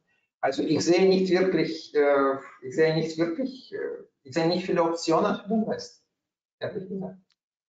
Okay. Danke. Dann jetzt noch vor die Frage zu Gazprom. Welchen Effekt hätten Sanktionen auf die Gazprom-Bank und welche Gründe liegen darin, dass diese Bank bisher größtenteils verschont geblieben ist? Äh, naja, also ich habe das schon, ich habe das schon angedeutet. Ähm, äh, das, ist der, das sind die, die Gasexporte. Also die Gasexporte Russlands, die werden über Gazprom Bank abgewickelt und wenn man Gazprom Bank sanktionieren würde, dann würde man äh, die Erdgaslieferungen nach Europa gefährden. Und das ist natürlich für viele Länder äh, in Europa ist das natürlich ein Problem, weil sehr viele Länder sind nach wie vor stark von, äh, vom russischen Gas abhängig. Ja, das heißt, das war politisch nicht durchsetzbar, den Gazprom Bank oder die russischen Erdgaslieferungen zu sanktionieren. Okay. Dann, wie schätzen Sie die innenpolitische Stabilität Russlands ein? Es gibt ja so viel Auswanderung.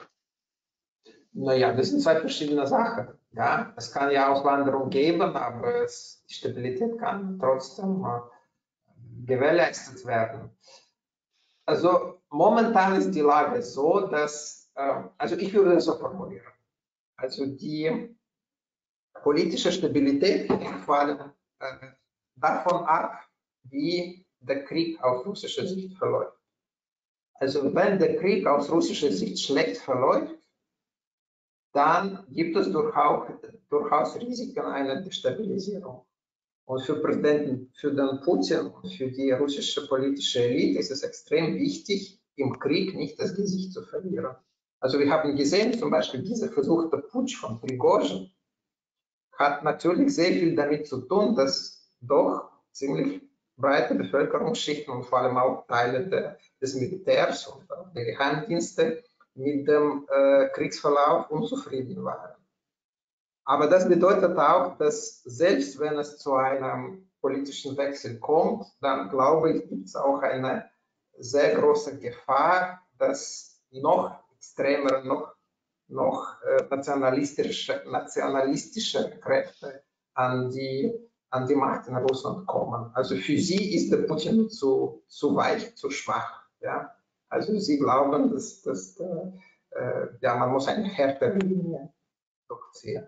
Aber momentan glaube ich, also diese, diesen versuchten Putsch von, von Prigozhin, das, das ist jetzt Geschichte, das ist jetzt vorbei. Äh, es gibt jetzt nicht viele Spuren, die davon geblieben sind. Also momentan schaut es eigentlich recht stabil aus. Okay, ähm, dann die nächste Frage, ähm, die natürlich alle, die hier zuhören und die mit der Modern Monetary Theory vertraut sind, äh, verstehen den Hintergrund dieser Frage. Ich würde da jetzt gerne nicht drauf eingehen, sonst haben wir eine lange Diskussion äh, über, über, über Währungssouveränität. Aber das ist in der Tat ein wichtiger Punkt. Und äh, du hattest ja auch erwähnt, dass ähm, Russland irgendwann mal sich als pleite erklärt hat, aber die Zentralbank hätte ja dem Staat das Geld zur Verfügung stellen können. Aber das würde uns jetzt in eine, eine Diskussion reinführen. Das wird, glaube ich, zu kompliziert an dieser Stelle. Ja, die, aber ich glaube, ich kann das ja, ich, ich glaube, ich kann das ganz kurz beantworten. Ja, äh, momentan ist die Situation so, dass die, dass die russische Zentralbank es nicht braucht. Also ganz einfach, die Budgetdefizite sind so gering, also die, die Regierung kann das, kann das problemlos zum einen aus fiskalischen Reserven finanzieren und zum anderen kann die Regierung immer noch Gelder von den russischen, von den heimischen Banken ausfordern. Das heißt, momentan ist es überhaupt kein Thema und es ist überhaupt kein, äh, ja, okay. das, das, das, kommt nicht in Frage. Ja. Okay, danke. Man dürfe sich nicht aus Energiesektor zurückziehen, aber die BASF Joint Venture mit Gazprom hat sich ganz zurückgezogen, sagt sie. Wie war das möglich? Ich kann da jetzt gar nichts zu sagen, kann die Frage nur vorlesen. Hm ich weiß nicht, da bin ich mir nicht sicher, ob der Bass wirklich eine, äh, es kann sein, dass, ich, ich habe das jetzt nicht im Kopf, aber ich vermute, dass das war möglich noch bevor dieser Erlass äh, verabschiedet wurde, der verbietet, aus dem Energiesektor sich zurückzuziehen. Also ich glaube, dass, das ist das Erste, die erste Möglichkeit. Und die zweite Möglichkeit, äh, es gibt auch, oder es gab Fälle, wo der Putin das auch erlaubt hat. Zum Beispiel, er hat erlaubt, dem Shell die Aktien in Russland zu verkaufen und sich zurückzuziehen. Und er hat auch zum Beispiel der ähm, Intesa äh, Bank, also der italienischen Intesa Bank, das auch erlaubt. Das sind nur Beispiele. Das heißt, im Prinzip ist es möglich, es bedarf nur einer Zustimmung von Putin. Ja. Okay, danke. Dann jetzt eine Frage von Herrn Schulz. Laut Umfragen wollen nur die wenigsten in der EU aufgenommenen Ukrainer zurück in ihr Land. Wieso auch bei der schon vor 2022 vorliegenden Deindustrialisierung? Äh, Äh, und äh, Entschuldigung, was ist die Frage jetzt? Äh, ich glaube, das ist eher ein Statement als eine Frage. Das kann man, okay, kann man eigentlich so stehen lassen. Ja, die Frage ist halt, die Frage, denke ich mal, zielt darauf ab, war es nicht so, dass es der Ukraine schon vor dem Krieg schlecht ging, dass schon vor dem Krieg äh, eine Deindustrialisierung stattgefunden hat. Also ich habe ja auch mal gehört, ah. dass die Beziehungen äh, zwischen EU und der Ukraine nicht immer gut für die Ukraine waren, weil es wäre für die Ukraine zum Teil besser gewesen, wenn sie eine gute Wirtschaftsbeziehung zu Russland hätte. Ganz einfach deswegen, weil die Ukrainer Produkte produzieren, die sie in Russland verkaufen können, während die in Deutschland nicht unbedingt jeder haben will. In Europa. Also ich habe ich hab sehr viele Jahre über die Ukraine gearbeitet. Also vor 2019, da habe ich, da war die Ukraine sogar mein Land, ich habe das immer so die wirtschaftlichen Entwicklungen verfolgt und so weiter. Und ich habe immer argumentiert, dass eigentlich wäre es aus der ukrainischen Sicht das Beste gewesen, wenn die Ukraine sowohl mit dem Westen als auch mit Russland kooperieren könnte. Ja, das wäre eigentlich dieses Dilemma, war zum Teil auch künstlich. Ja? Entweder Russland oder die EU. Das war natürlich durch diese geopolitische Rivalität verursacht zwischen, zwischen, zwischen dem Westen und, und Russland. Ähm, aber theoretisch wäre wenn es wirklich, wenn es wirklich äh, möglich gewesen wäre, äh, dieses sozusagen freundliche geopolitische Klima äh, aufrechtzuerhalten, dann wäre es auch möglich. Und das, das, das, das hätte der, Russi der, der ukrainischen Wirtschaft sehr gut getan. Es ist tatsächlich so, dass wenn wir uns die letzten Jahrzehnte anschauen, dann war die wirtschaftliche Entwicklung der Ukraine im Großen und Ganzen katastrophal. Da haben Sie recht. Also das Ukraine, selbst vor dem Krieg, war das ukrainische BIP weit vom Niveau von 1990 entfernt.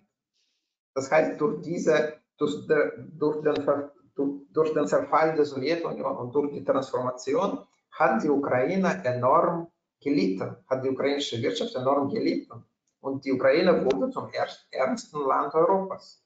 Ja, es, es gibt viele Gründe dafür, aber ein Grund ist eben ein, ein geopolitischer Grund, ja, weil Russ die Ukraine wurde diese Rivalität zwischen, äh, zwischen Europa und Russland ausgesetzt und viele Teile, also, also viele Handelsverflechtungen mit Russland sind verloren gegangen und die wurden nicht vollkommen oder nicht hundertprozentig durch neu entstandene äh, äh Verflechtungen mit Europa gemacht. Das war eine große Tragödie für die Ukraine.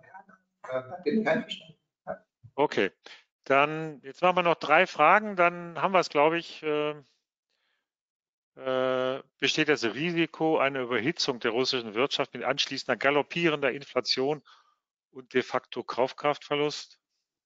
Äh, also die russische, das ist das, was die Zentralbank, die russische Zentralbank immer wieder wiederholt. Also die russische Wirtschaft befindet sich in einer Überhitzung momentan. Die Inflation ist stark angestiegen und die russische Zentralbank, wir müssen so ein bisschen so die Geldpolitik verschärfen. Sie haben jetzt den Zinssatz massiv angehoben, um eben diese, diese Inflation im Griff, im Griff zu haben. Nur der Punkt mit dem Kaufkraftverlust äh, stimmt nicht. Weil trotz der relativ hohen Inflation gibt es Reallohnwachstum und gibt es reales Wachstum der verfügbaren Einkommen. Das heißt, es ist momentan eine Situation, wo es trotz Inflation durchaus auch äh, äh, ja, Wirtschaftswachstum gibt und auch ja, steigende Realen. Das ist natürlich ganz wichtig. Inflation wird ja dann zum Problem, wenn bestimmte Bevölkerungsschichten davon betroffen sind und real Einkommensverlust haben. Okay, danke. Dann äh, ich nehme an, dass sich das auf die Ukraine bezieht. Gibt es bereits zuverlässige Daten über voraussichtliche Auswirkungen des bereits oft verlautbarten Verkaufs großer landwirtschaftlicher und sonstiger Nutzflächen? Ich vermute, dass es darum geht, dass an, an westliche Investoren äh, ukrainische Flächen verkauft worden sind. Ähm, ja, da bin ich ein bisschen überfordert, weil das ist doch ein spezifisches Thema. Aber ähm, ja, ich glaube, das ist im Wesentlichen läuft, äh, läuft das darauf hinaus, inwieweit überhaupt die, die, die Ukraine äh, davon profitieren kann, äh, also westliche Investitionen anzuziehen. Und das ist auch ein Beispiel für westliche Investitionen, das ist der Kauf landwirtschaftlicher Flächen und so weiter. Äh, Im Endeffekt hängt es damit zusammen, ich glaube, das hängt von, von, von, von der sicherheitspolitischen Situation zusammen. Also wenn große Teile der Ukraine nach wie vor gefährdet sind durch den, durch den Krieg, durch den möglichen russischen Einmarsch oder durch die Ausweitung der des, der Gebiete, die äh, von Russland kontrolliert werden, dann wird das auch schwierig. Ja, auch, das wird auch die Landwirtschaft betreffen, das wird auch Sektoren betreffen. Ja, das kann man nicht unterschätzen, diese Risiken, glaube ich. Okay, ähm, dann kommen immer wieder, ich weiß nicht, ob das russisch oder ukrainisch ist, Watnik, keine Ahnung, was das heißt. Ähm, äh, Jetzt kommen immer wieder noch neue Fragen rein. Also jetzt noch, ist wahrscheinlich schwierig. Kann man jetzt schon abschätzen, welches äh, gesamtwirtschaftliche Vermögen vernichtet worden ist durch den Krieg? Also in der Ukraine nehme ich an. Ähm, es gab eine Schätzung, ich habe eine Schätzung im Frühling gesehen von der Weltbank. Von der Weltbank ähm, die Weltbank hat geschätzt, also die Kriegsschäden, also Infrastrukturschäden in der Ukraine äh, liegen bei circa 400 Milliarden äh, Dollar. Das wäre, was wäre das? Das wäre das doppelte BIP. Ja, also, also das war die Schätzung vom Frühling. Also seitdem sind die, ja, ist sicher gestiegen. Der Krieg ja. weitergegangen, ja. So, jetzt machen wir noch zwei Fragen. Ähm, äh, gut, wie sich die Ukraine erholen kann. Ich weiß nicht, ob Sie dazu was sagen wollen. Das ist natürlich. Naja, das ist. Ja, ich glaube, ich habe diese Frage schon irgendwie in einer Form oder anderen Form schon. Ja, ich glaube, ja. einige Fragen sind noch nicht weg. Ich kann sie wegklicken. Ähm, Frau Eichelburg, ähm, Markus, äh, dann die nächste Frage, weiß nicht, ob Sie dazu was sagen wollen. Wie kann die Ukraine sich erholen angesichts der Zerstörung der Dezimierung? Das ist eine große Frage, ja. Naja, das ist schwierig, sagen wir so. Ja, das ja, wird schwierig. Also das, ja. Ich denke, ähm, okay, Herr Schulz weist nochmal darauf hin, dass es einen Zusammenhang gibt zwischen Ökonomie und Auswanderung, wenn in Rumänien das medizinische Personal großzählig auswandert. Das ist sicherlich richtig, auch ein Problem für die Ökonomie. Dann eine Frage, ist es richtig, dass Renten und soziale Unterstützungen kinderreiche Geringverdiener in RF, ich nehme mal das Russland mit gemeint, indexiert angehoben werden? Ja, ja, das stimmt. Das ist richtig. Okay. Jetzt haben wir nur eine, eine, wir nehmen noch eine große Frage zum Schluss. Eine Frage zur Gesamtwirtschaft der Sowjetunion. Hätte es wirtschaftlich und sozial im Allgemeinen mehr Sinn gemacht, die Sowjetunion beizubehalten? Das ist Ihr Schlusswort. Das ist eine super Frage. Ja. Ähm, also, ich bin in der Sowjetunion aufgewachsen. Ich war 17, als die Sowjetunion zusammengebrochen ist. Ich habe gesehen, wie die sowjetische Wirtschaft funktioniert hat ja, abgesehen davon, dass die Sowjetunion war eine Diktatur und so weiter, aber die Wirtschaft. Also die Wirtschaft hat leider, muss man sagen, es hat nicht wirklich funktioniert. Also, dass die Sowjetunion zusammengebrochen ist oder beziehungsweise dass die Planwirtschaft zusammengebrochen ist, äh, ich persönlich, ich bereue das nicht. Also das jetzige Russland, also das System, das es momentan gibt in Russland, das ist im Prinzip ein marktwirtschaftliches System. Und in manchen Dimensionen hat Russland momentan sogar noch mehr Marktwirtschaft als die äh, europäischen Länder zum Beispiel. Ja, es gibt weniger Sozialstaat, es gibt äh, so flexible, flexible Arbeitsmärkte und so weiter und so weiter. Ähm, also ist im Prinzip eine Marktwirtschaft. Ähm, und die funktioniert eigentlich ganz gut. Und die Tatsache, dass die russische Wirtschaft sich so gut den westlichen Sanktionen angepasst hat, ist auch zum großen Teil darauf zurückzuführen, dass es eine Marktwirtschaft ist. Ja, das, ist, das darf man nicht unterschätzen. Ja. Also die sowjetische Wirtschaft, also die Planwirtschaft, glaube ich, hätte nicht diese, diese Anpassungsflexibilität wie die, wie die jetzige russische Wirtschaft. Ähm, Ja. Okay. Ja, das, das also eher nicht. Aber, ja, eh nicht. Eh nicht. Ja. Also das, das Problem ist, ist, denke ich mal, mehr der, mehr der Zusammenbruch nach 1999.